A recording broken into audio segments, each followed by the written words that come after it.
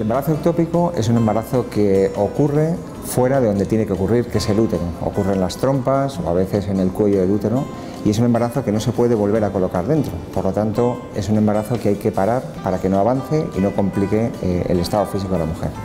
El diagnóstico es relativamente sencillo. Con una prueba de embarazo positiva hacemos una ecografía y si en el momento, en la semana 5 o semana 6, donde tenemos que ver un embarazo en la ecografía, si no lo vemos y tenemos una prueba de embarazo positiva, está claro que esta mujer está embarazada en una zona que no hemos localizado.